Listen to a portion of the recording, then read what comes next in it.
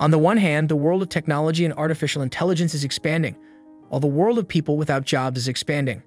On the other side, the world of those who are currently without jobs is also beginning to present itself. At the same time, both of these environments show signs of growth and potential expansion. In the future, the two worlds are going to compete with one another for employment opportunities, and from a business point of view, artificial intelligence is going to be the most popular option for businesses to choose from. Since the beginning of historical records, the percentage of people without jobs has been steadily increasing all over the world. We need your support to consistently upload videos, so we would greatly appreciate it if you could give us a thumbs up and like this video. Every region of the world has observed this trend. This pattern has continued uninterruptedly until the present day. The media in every region of the world, notably in countries like India, has shown significant interest in this pattern, particularly through television. Numerous other countries have also demonstrated this focus. One school of thought maintains that governments are to blame for the limited number of employment opportunities that they generate. We cannot ignore the harsh reality that the situation will only worsen from this point forward. There's no avoiding this. Number 4. The current unemployment rate demystified. This article discusses the current unemployment rate in the United States and provides information about the situation. At the moment, there is an unprecedented number of graduates and postgraduates who are unable to find work outside of their respective fields. This predicament has been going on for a pretty considerable amount of time. Undoubtedly, a greater number of individuals are pursuing higher education than in the past. However, they also face significant challenges in securing career opportunities. This phenomenon persists despite the undeniable increase in the number of individuals pursuing higher education. There is a sizable population of people who have the expectation that the government will offer them several employment opportunities to choose from within the workforce. Because of the increasing prevalence of automation, the number of jobs that require human labor has decreased, this is due to the fact that automation is becoming more widespread. Reports regularly highlight the high unemployment rate in India. This is because the media is a good source of information. This is because India's unemployment rate is extremely high. Despite the fact that most of them blame the government, they fail to consider how technological advancements could exacerbate the problem. Number 3. Why more professionals will lose jobs in the coming years? In the years to come, one of the factors that will contribute to a rise in the number of professionals who are currently without work who will be responsible for this increase? I am curious as to whether you would choose to hire a person or a brilliant artificial intelligence that is low cost, low maintenance, and powerful when it comes to providing assistance. I would like to hear your preference. I am interested in learning what your preference is. If presented with a choice, I think you would opt for the option that utilizes artificial intelligence. In the near future, nearly all employers and businesses will have access to this choice. Technological advancements in the not-too-distant future will gradually render many of the jobs we currently take for granted obsolete.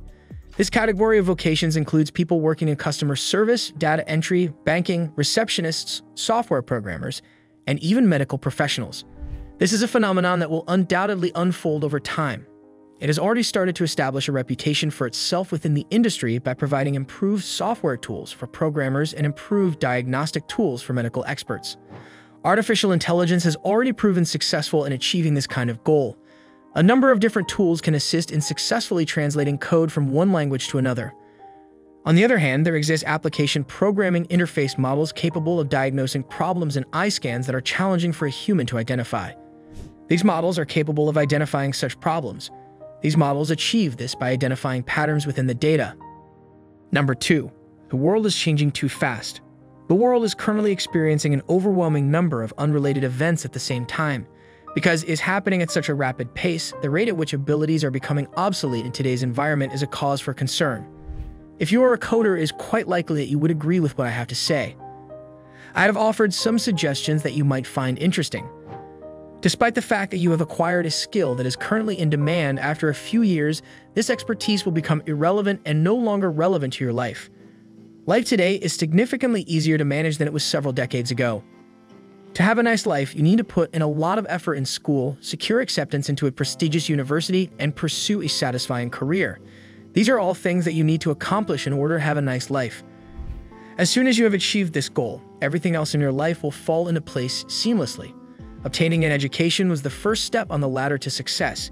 In this day, an age of artificial intelligence which is always expanding, having a higher degree does not ensure a steady employment situation. This is especially relevant in the field of artificial intelligence.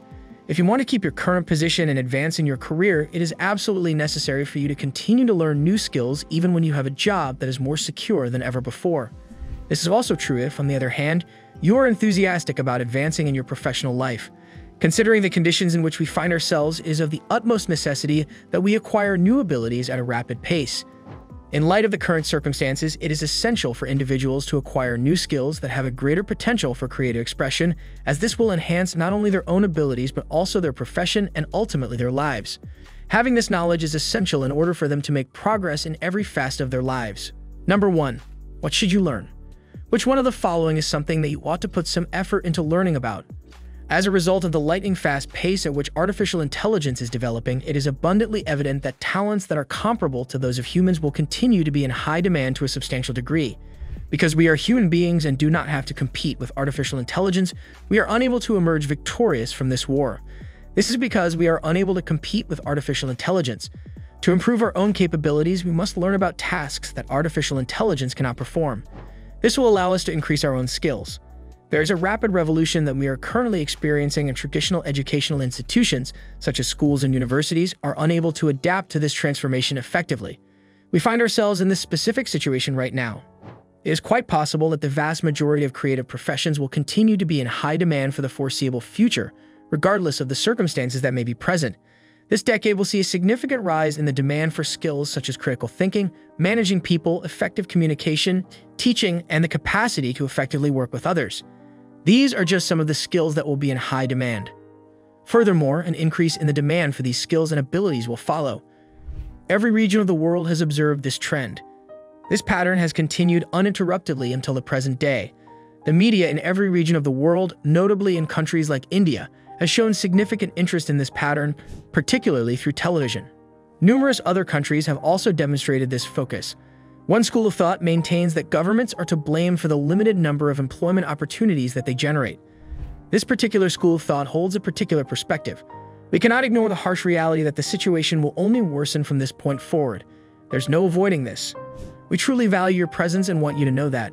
We would greatly appreciate it if you could subscribe to our YouTube channel using your YouTube account and give it a like. Thank you in advance for your consideration.